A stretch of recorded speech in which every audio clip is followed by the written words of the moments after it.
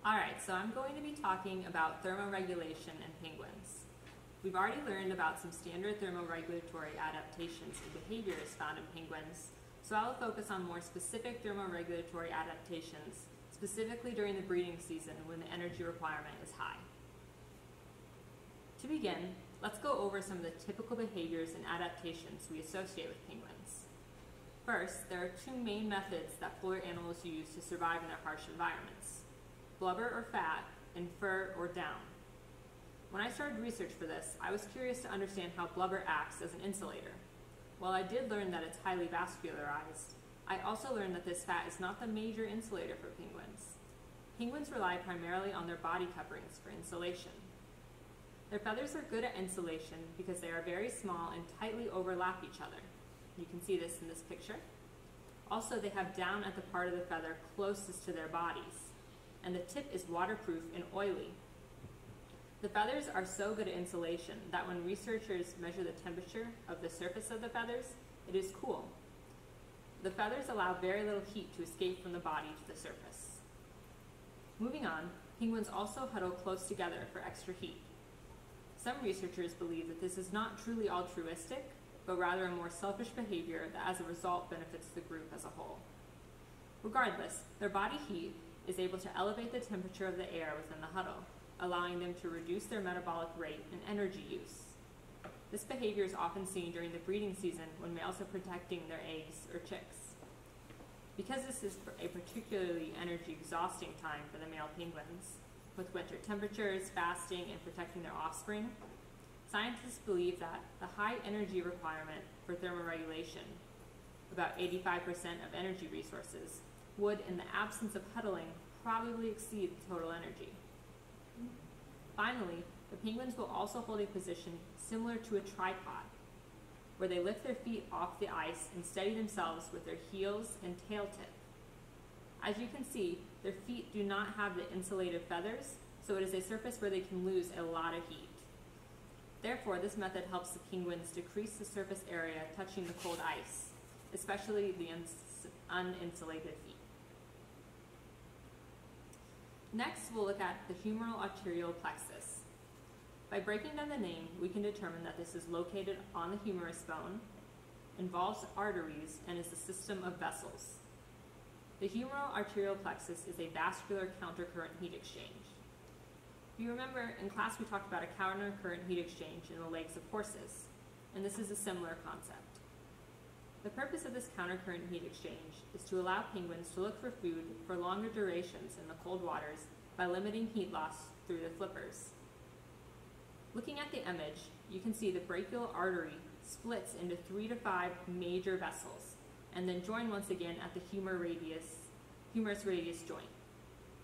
For each humeral artery, there are two or more veins, here represented by blue, which form the plexus the warm arterial blood flows through the flipper, transferring heat to the walls of the vesicles through convection.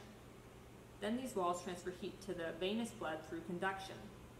This helps heat remain conserved in the body core. Tests have been conducted showing that due to this mechanism, there is a 30 degrees Celsius internal temperature difference between the shoulders and the wingtips of penguins. At the top of the picture, you can also see a the structure's osteological correlate, the humeral arterial sulcus. This was used by researchers to trace the presence of the humeral arterial plexus in penguin fossils. Alright, so as I mentioned, the thermoregulation needed in penguins is most evident in the male penguin during breeding season. Emperor penguins breed during the cold Antarctic winter. The males will remain on land, incubating an egg for up to four months.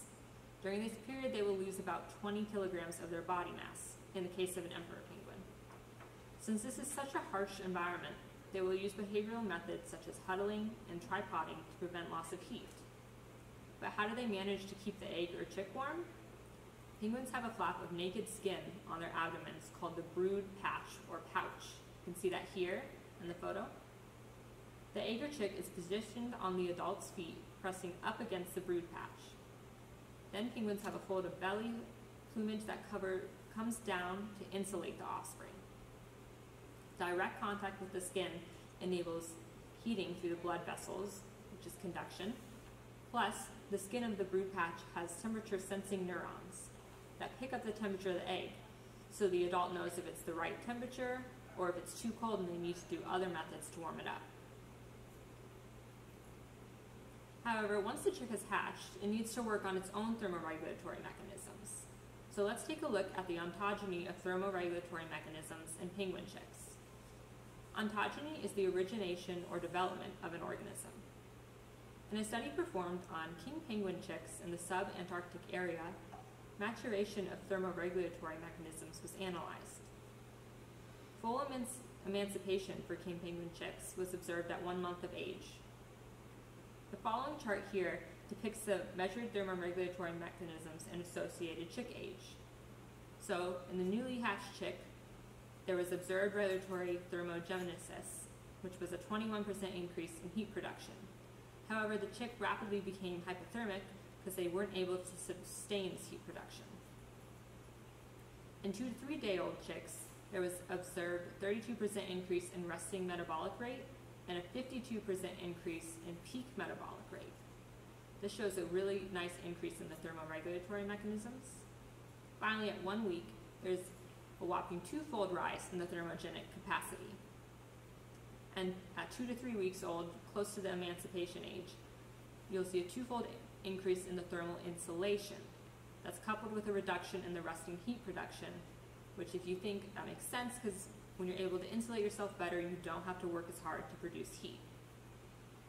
Based on this, researchers concluded that both insulative and metabolic adaptations are required for ontogeny of thermoregulation in the penguin chicks. Furthermore, the results indicate that thermogenic processes are sufficiently matured prior to the improvement of thermal insulation. In summary, due to their environment, penguins have many thermoregulatory mechanisms to keep themselves and their offspring warm. Once the offspring hatch, it is important that they have rapid ontogeny of their thermoregulatory mechanisms. These are my sources. Thank you for listening.